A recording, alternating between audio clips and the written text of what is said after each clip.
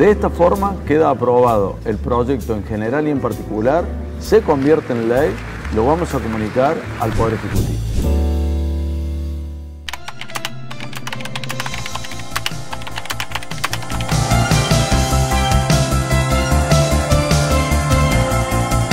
Esta ley está basada no solamente en el trato adecuado hacia personas con discapacidad, sino que también a aprender las generalidades sobre la accesibilidad.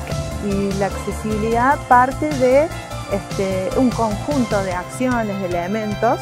Falta uno, se nos rompe este concepto. Hace nueve años que estoy disertando y la verdad que es una experiencia enriquecedora para mí porque enseño y aprendo al mismo tiempo. Está muy bueno concientizar a la gente de cómo tratar a las personas con discapacidad. El trato adecuado es mirarme de frente.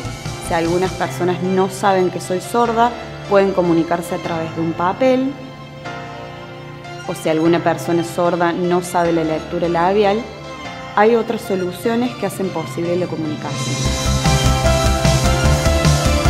Cuando una persona con discapacidad se dirige a un negocio con un acompañante, que la persona no se dirija al acompañante, sino que hable con la persona con discapacidad que necesita, qué es lo que anda buscando.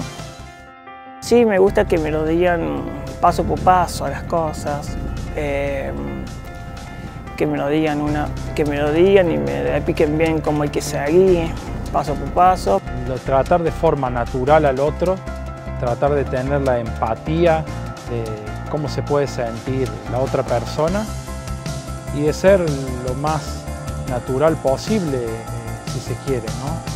Eh, llamar a la persona por su nombre, no pensar en si es eh, un ciego, un down o algo así.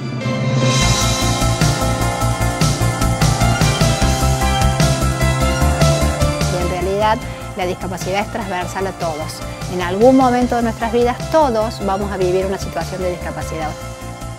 Yo les pido que, se inscriban los talleres, que participen y que todos realmente apostemos a una ley más inclusiva, que no nos perdamos la oportunidad.